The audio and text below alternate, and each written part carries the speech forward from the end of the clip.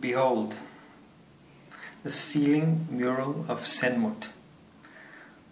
Shine my torch across. All the gods present on terra firma.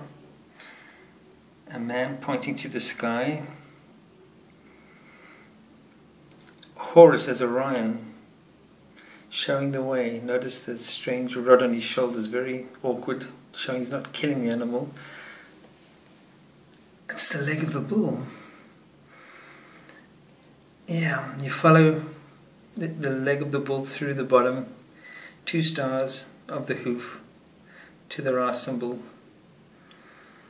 and a goddess with the scorpion symbol on top of her sun, showing you where she is going to and where she comes from, because our Earth Sun system is in the Scorpio direction from the Pleiades. This is the Pleiades leg of the bull has the bull crown on the leg. That's why it's it's not a normal looking creature. It's actually a living leg.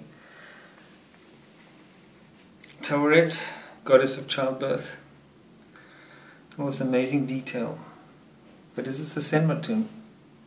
I think not. This is an exclusive, one only of its kind in the world, tablet. And it's going to be available to the public it has every single little detail on it, and it's secret, about to be revealed.